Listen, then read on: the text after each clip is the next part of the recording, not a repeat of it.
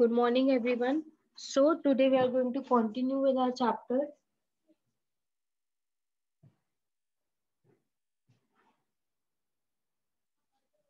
Chapter number five of history. Uh, we have already discussed about the architecture in the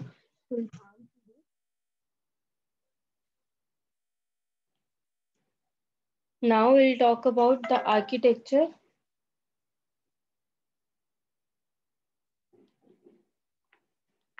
in the Mughal period.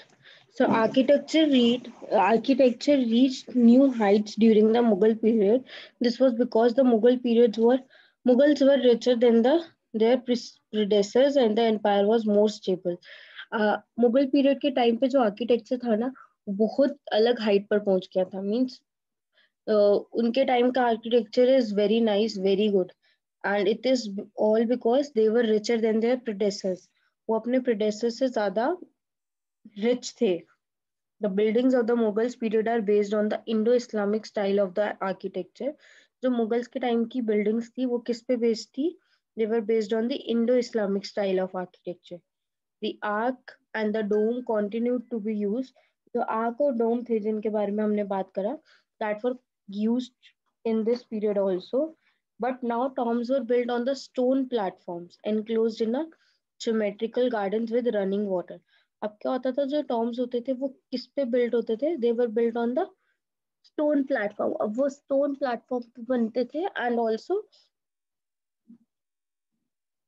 they were enclose in the geometrical garden with running water और वो geometrical garden से उनको enclose किया जाता था with the running water there red sand stone white marbles were use for the construction The Mughal built beautiful forts, palaces, building, build, public buildings, wallis, mosque, etc. First of all, Babur. Babur introduced the concept of garden places in India. Babur ने किस चीज़ का concept शुरू करा उन्होंने garden places का concept शुरू करा He built beautiful places at Agra, Sikri and Dholpur and laid out gardens around them. उन्होंने जो भी अच्छी अच्छी सुंदर सुंदर चीज़ें बनाई आगरा, सीकरी और धौलपुर में, उन्होंने ही has make sure that there is a garden around them these gardens are popularly known as a Chahar Bagh that is the four gardens और इन गार्डन्स को किस नाम से जाना जाता था? चहर बाग के नाम से. That is the four gardens चार गार्डन्स बनाते थे. The main features of the Mughal Chahar Bagh Chairbagh gardens are as follows. That is, there were they were planned and laid formally. These gardens were placed within rectangular walled enclosures. ये जो gardens होते थे इनको rectangular walled enclosures में रखा जाता था means उसी के अंदर बनाया जाता था Moreover, they were divided into the four quarters by the artificial channels or running water. और इसको फोर क्वार्टर्स में डिवाइड कर दिया जाता था चार चैनल्स के थ्रू और फिर running water के through. These gardens were called the Chehrbagh or four gardens because of their symmetrical division into the four quarters. So basically क्या करते थे? एक एरिया को फोर इक्वल पार्ट्स में डिवाइड कर देते थे और जो फोर क्वार्टर्स होते थे, उनको या तो आर्टिफिशियल चैनल्स या फिर रनिंग वाटर के थ्रू डिवाइड करते थे। So because of which and वो सिमेट्रिकल डिविजन होता था, इसलिए उसे फोर फोर गार्डन या फिर चहर बाग कहते थे। Akbar, Jahangir and Shahjahan constructed several beautiful uh, Chahar Bags in Kashmir, Agra and Delhi. So uh, apart from Babur, the other uh, rulers also constructed these uh, beautiful gardens in Kashmir, Agra and Delhi. Then Humayun. Humayun remained busy with the wars and other problems and therefore could not do much to encourage architecture. Yet he built a place at Delhi named Dinpana. Humayun जो थे वो काफ़ी busy रहते थे Wars और बाकी सारी problems में। सो so इसलिए उनको काफ़ी वो ज़्यादा उन्होंने आर्किटेक्चर को इंकरेज नहीं करा। But still he has made one thing he has built a palace at Delhi that is name is Dinpanah उन्होंने दिल्ली में फिर भी एक पैलेस uh, बनाया जिसका नाम था दिन पना then Sher Shah Purana Qila in Delhi and the museum at Sasaram in Bihar These are considered to be the architecture marvels of Sher Shah Resign. so sher shah ke time mein these two things were built these were the architecture marvels of sher shah's time then akbar the mughal architecture actually began with the akbar अगर हम Mughal architecture की बात करते हैं तो वो particularly Akbar के time से शुरू होता है the tomb of the Humayun in Delhi is the major landmark of the Mughal architecture which reach its climax in Taj Mahal at Agra जो टॉम ऑफ़ हुमायूं था दिल्ली में वो that was the major landmark of the Mughal architecture जो finally climax पर पहुँचा in Taj Mahal at Agra at Fatehpur Akbar built his magnificent palaces and pavilions in the red stone. Fatehpur में अकबर ने अपने काफ़ी सारे पैलेसेस और pavilions बनाए। That he has build in the red stone red sand stone he has also build an impressive gate known as the Buland Darwaza in the Fatehpur Sikri he has built a Buland Darwaza also other other important monuments are Jama Masjid tomb of Sheikh Salim Chishti and the famous residential building Panch Mahal So these were the also uh, important monuments made by the Akbar. The architecture of Fatehpur Sikri is an excellent mixture of Persian, Central Asian and various Indian styles. जो हमारा बुलंद दरवाज़ा eight Fatehpur Sikri या जो भी architecture है फतेहपुर सिकरी के these are the mixture of your Persian Central Asian and various Indian styles इन तीनों चीज़ों का मिक्सचर है the central towering dome and the tall gateway that is pishtak became the important features of the mughal architecture these features were seen visible in humayun's tomb ये जो features है हम Humayun हुमायूं's tomb में देख सकते हैं that is it was placed in the middle of a large well laid out garden और इसको कहाँ पे बनाया गया एकदम बीच में ऑफ़ अ गार्डन गार्डन के एकदम बीच में बनाया गया है this tomb was built in the traditional known as eight paradise और द हस्ट बिस्ट ये जो है टॉम इसको कैसे बिल्ड किया गया? इसको ट्रेडिशनली बिल्ड किया गया, जिसको एट पैराडाइजेस के नाम से या हस्ट बिस्ट के नाम से जाना जाता है। This refers to a central hall surrounded by the eight rooms why this is known as a eight paradise? Because it has the central hall surrounded by the eight rooms. so central hall that has eight rooms around itself so the building was constructed with red sandstone edged with white marble पूरी building है वो किससे बनी हुई है red sandstone से बनी हुई है and on the edge it has the white marbles then jahangir Jahangir was mainly interested in painting and laying out gardens. One of the most famous gardens laid out by him was the Shalimar Bagh in Kashmir. He also constructed the Akbar's tomb at Sikandara. His wife Noor Jahan constructed the tomb of Itamad Uddaulah. This is one of the finest tombs built in marble. जो जहांगीर थे वो majorly किस चीज़ में interested थे he was mainly interested in paintings and laying out gardens one of the most important or famous garden led by him was the Shalimar Bagh in Kashmir. Kashmir mein, in the Kashmir, we have one of the very beautiful garden there, and that was made by the Jahangir. He has also constructed the Akbar's tomb at Sikandra. उन्होंने अकबर का tomb भी बनाया सिकंदरा में and his wife Noor Jahan constructed the tomb of Itamud Uddullah. Unki wife name, his, uh, his wife name was Noor Jahan. Uh, she has constructed the tomb of Itamud Dullah, Itamad Dullah. And this is one of the finest tomb that was built in marble. Marble ka uh, tomb bana hua hai, and this is one of the finest tomb.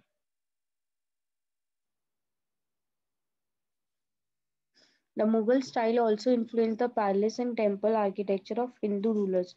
Hindu rulers जो थे उनके भी जो architectures थे, उनको भी influence करा Mughal style ने. For example Govind Dev temple at Vrindavan is made of red sand stone and also has mixed architecture style जो गोविंद देव गोविंद देव टेंपल है वृंदावन में that is also made by the sand stone red sand stone and it also has the mix architecture style इसमें भी हमारे mix architecture style है।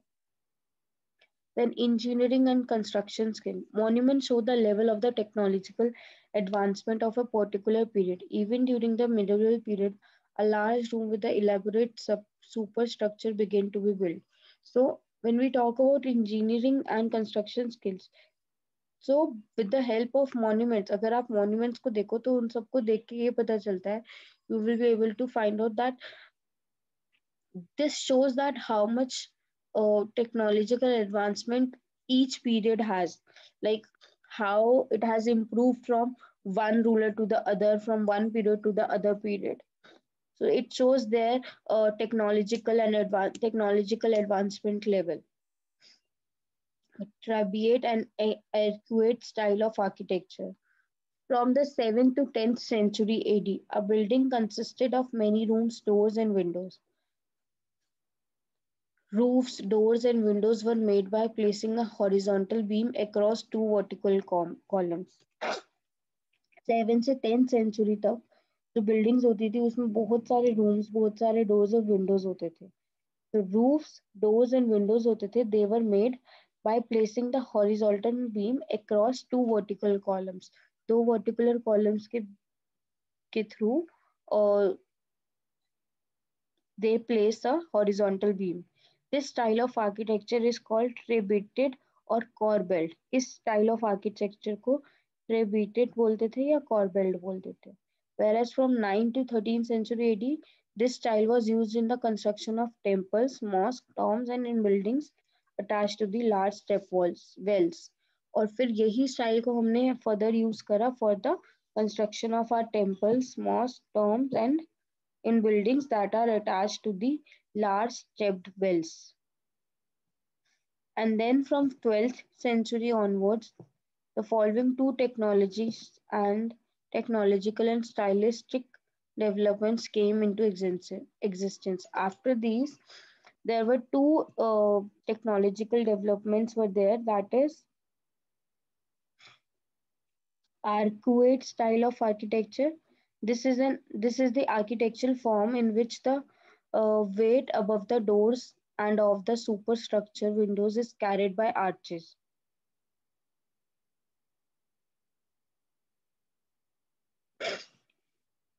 so so, इस architecture form में क्या है जो डोर्स के ऊपर वेट होता है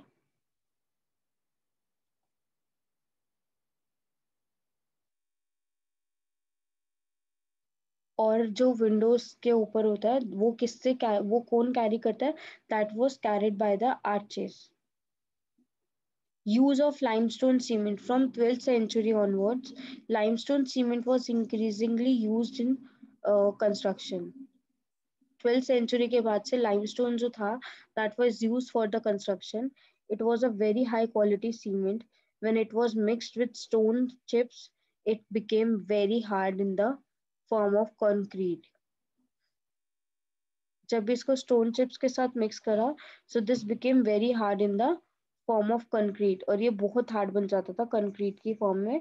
And as a result the construction of the huge structures became easier and faster और इसका रिज़ल्ट क्या हुआ? कि जो भी कंस्ट्रक्शन होती थी, वो इजी और फास्टर हो गई with the help of this concrete Then kings and the palaces of the worship. The kings built temples and mosques beautifully because they showed their power, wealth, and devotion. Generally, the names of the kings and the gods were very similar. For example, the king Raja Raja Deva worshipped his god Raja Rajeshwaram.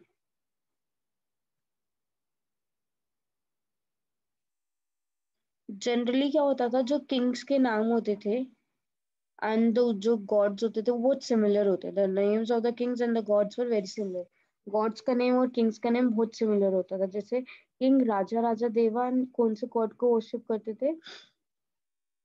उनके God का name था Raja Rajeshwaram. This is because the king wanted to appear like a god वो क्यों? वो basically क्या करते थे? अपना नाम गॉड के नेम से रिलेटेड रख लेते थे। Just because they wanted to appear like a god He wanted to show that he was the real representative of the God on earth and he ruled on the behalf of God. His emphasizes his moral right to be a ruler. Basically, what does they want? What does he wanted? He wanted everyone to treat him like a god. He wanted to be the real representative of the god on the earth. वो क्या चाहते थे कि वो real representative बने God के on the earth.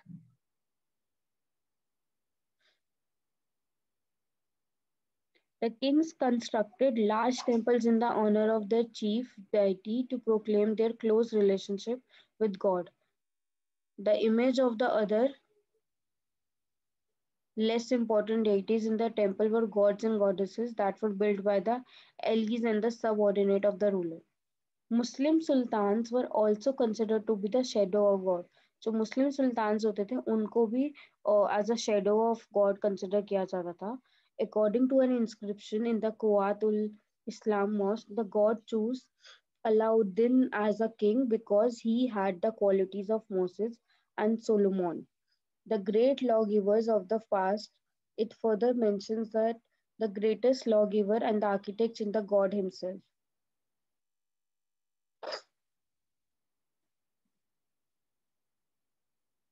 He created the world and introduced order and symmetry. उन्होंने world को क्रिएट करा और उन्होंने ऑर्डर और सिमेट्री इंट्रोड्यूस करी। Rulers often give patronage to the learned and दर्सिस they try to transform their capitals and cities into the great cultural centres they did so to earn fame उन्होंने ये करा through that वो fame earn कर सके।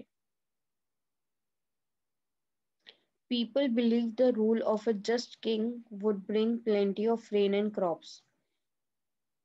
Making water available by constructing tanks and reservoirs were highly praised. उन लोगों ने क्या करा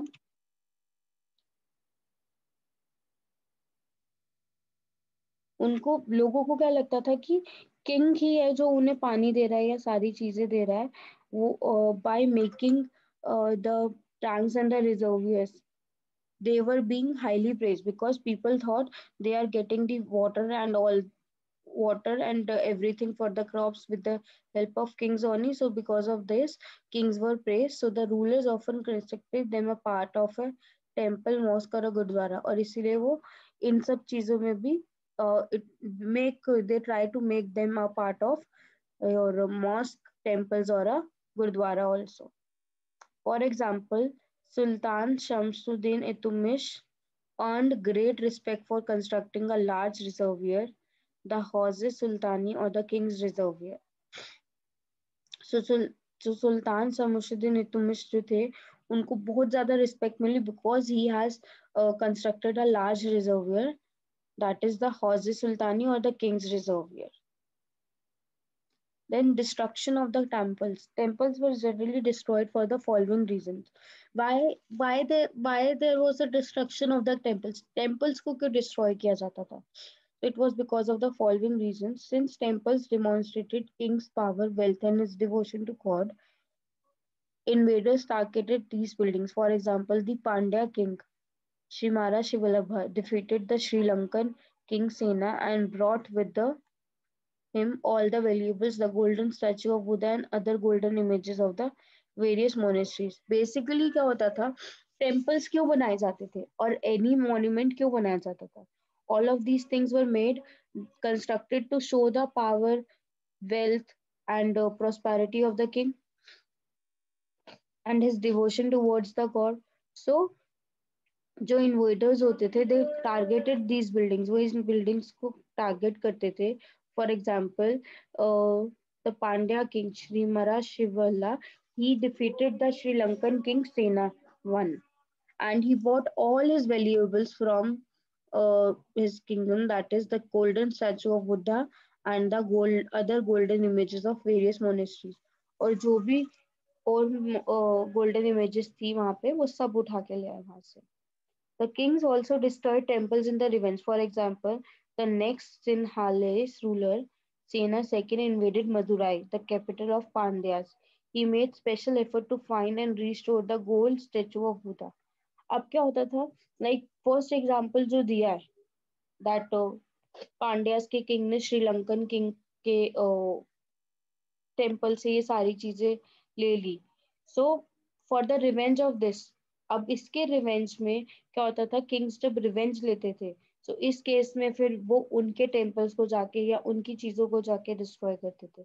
The same thing here that the next Sinhalese ruler that is Sena second जो सेना सेकंड थे, उन्होंने मदुराई को इन्वेट करा। That was the capital of Pandyas he made special efforts to find and restore the gold statue of buddha उन्होंने बहुत effort करे कि वो कैसे ढूंढे उस गोल्ड स्टेचू को और फिर कैसे उसे दोबारा वापस लाए।